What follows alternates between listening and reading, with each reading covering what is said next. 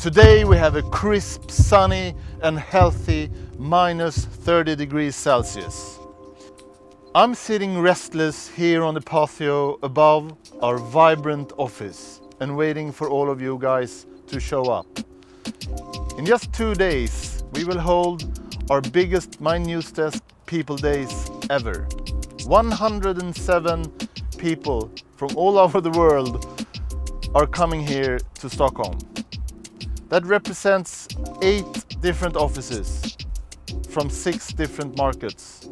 I believe it's paramount for us all to meet at least once a year, to be able to create and share ideas together. This year's theme will be our workplace. How can we make Mynewsdesk the greatest place to work in ever?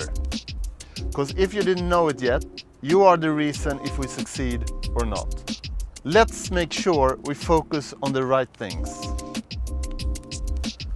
We will kick off this Thursday with a lunch and then we're gonna have discussions and presentations and a full day and we're gonna finish that day off with a bit of a snack and then close the shop at around 7 p.m.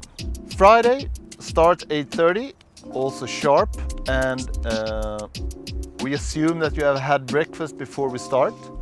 Uh, then we're gonna use the full day as well.